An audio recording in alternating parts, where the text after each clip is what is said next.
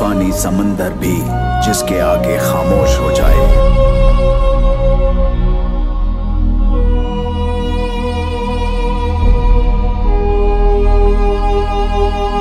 हर सरताज जिसके आगे सर झुकाए।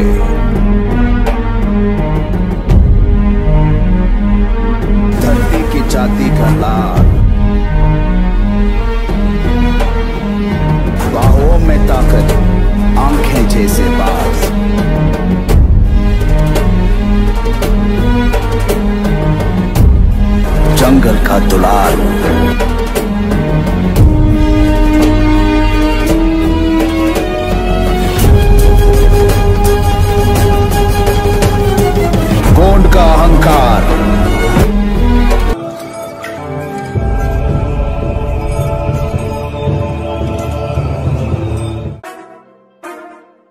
एक शोला है दहकती आग का।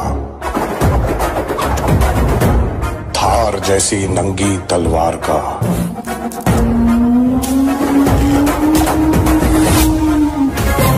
वक्त आ गया है मारने या मर जाने का। उठाओ अपनी बंदूकें और लड़ो। लड़ो अपनी आज़ादी के लिए। लड़ो एक बार अपने आप के लिए। जाओ!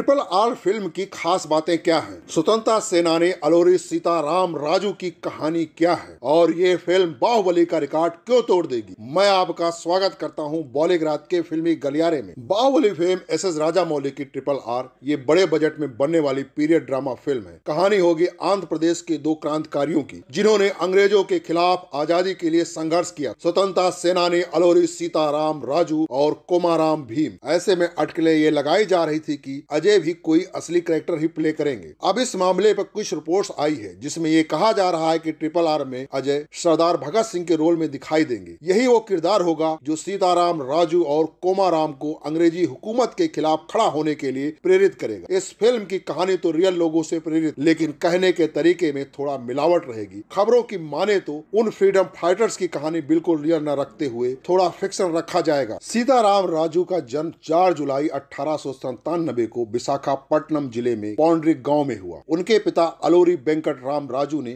बचपन से ही सीताराम राजू को यह बताकर क्रांतिकारी संस्कार दिए कि अंग्रेज़ों ने ही हमें गुलाम बनाया और ये हमारे देश को लूट रहे हैं। सीताराम राजू के जहन में पिता की ये बातें घर कर गई। राजू के क्रांतिकारी साथियों में बिरैया दौरा का नाम भी आता है, जिनका अपना वनवासी संगठन था।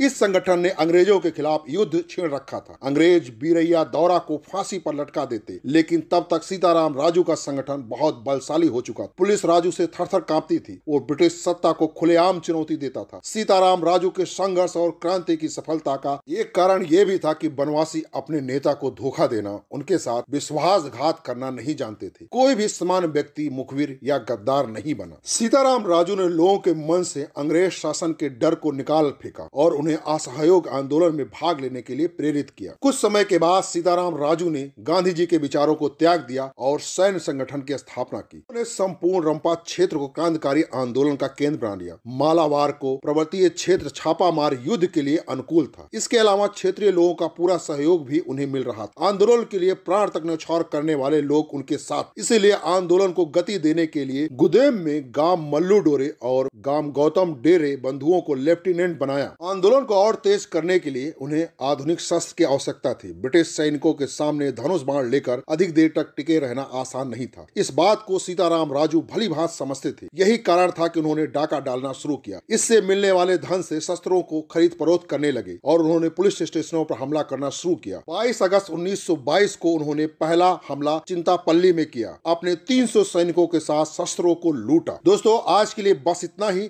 अगर आपको इनकी कहानी को और डिटेल में जानना है तो मैं आपको पूरी तरह से बताऊँगा। फ़िल्म की लोकप्रियता को देखते हुए कहा जा रहा है कि ये फ़िल्म बाहुबली का रिकॉर्ड आराम से तोड़ देगी।